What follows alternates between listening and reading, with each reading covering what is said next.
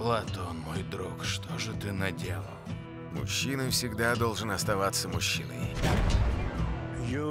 Зачем ты это говоришь? Ты умираешь? Пачино или Роберт Де Ниро? Пачино. Я так и знал. Де Ниро лучше играет. Я хилес, ясно? Де Ниро извращенец.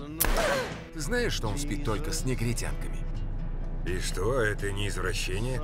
Не с такими, как Бейонсе, понимаешь? А как Винус Уильямс. Мускулистыми и мужеподобными. О вкусах не спорят, как говорится.